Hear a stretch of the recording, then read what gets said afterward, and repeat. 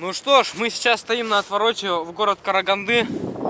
Добрый водила автобуса нас подвез именно до сюда. Сейчас я могу сказать со стопроцентной вероятностью и уверенностью, что в Казахстане очень добрый народ. Мало того, что нас подвезли, э, с нами дружно побеседовали, дали э, покушать с собой в дорогу. Вот не в обиду, конечно, будет э, российским водителям автобусов.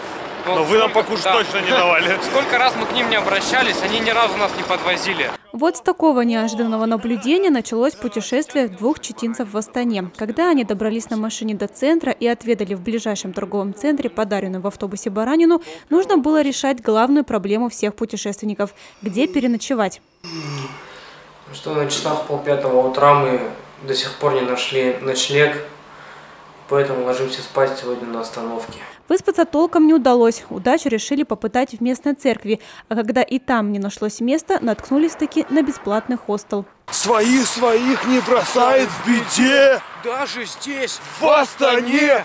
Выспавшиеся и счастливые автостопщики наконец-то вышли на улицы города, чтобы пообщаться с местными жителями и посмотреть достопримечательности города. А как здесь жить? Здесь жить хорошо или тяжело? Конечно, очень хорошо. Да? Да.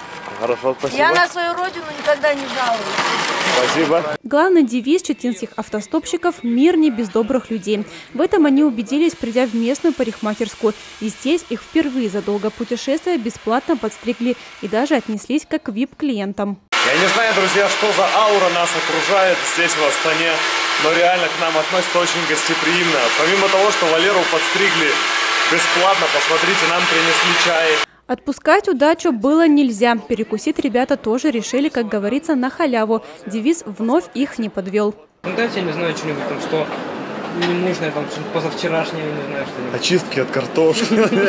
Это мы шутим. Как, спрашиваете такие. Я до сих пор, как, до сих пор не могу поверить, что нам все это дали просто так. Впереди много всего нового.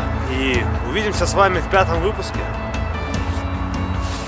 Хороший город. Все, дальше едем в Костанай. Пока. Валерия Квашнина, ЗАП ТВ.